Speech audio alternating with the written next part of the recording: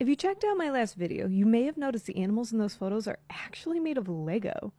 Those deceptive photos are part of a Lego exhibit at the Museum of Science and Industry called The Art of the Brick.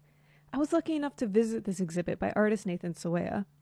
Along with some thought provoking original Lego sculptures, there are some incredible recreations of the world's most famous art pieces, like the Mona Lisa and Van Gogh's Starry Night, not to mention the amazing animal designs in those photos. This exhibit was truly awe inspiring. It makes me want a room full of Lego so I can create my own life size masterpieces. I highly recommend seeing this exhibit if you ever get the chance.